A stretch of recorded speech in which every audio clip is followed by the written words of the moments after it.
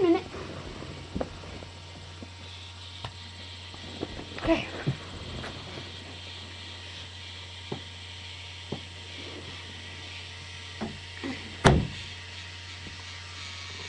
The catapult, catapult, K'nex catapult 3000.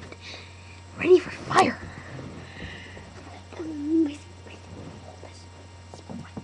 One minute. Get my. I'm getting my assistant, my sister, to hold the flashlight right at the center, a bit, cl- bit closer, Wait, just wait a minute. I need bit to. closer, bit closer. I need to put that up there. Next, can I show you my thing? Mm, Bit closer. Bit closer. Right there. Oh, I, I thought you meant down. I meant mine. Okay. Okay. Now, let's see it.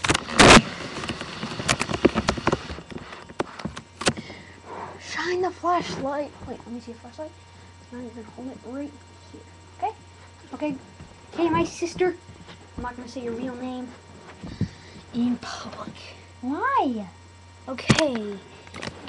Now just take grab this thing, pull it back, use an elastic band to make it stretch.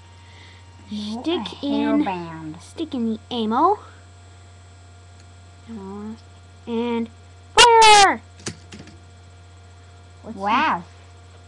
Okay, that went Hmm, right here. That is looks about as ooh shoots up to six feet, I think five. I mean, I'm like I'm like five feet tall, so uh, up, at least like two inches, a bit more than five feet. So yeah, that is perfect. So that is the Lego Catapult 3000. See you later.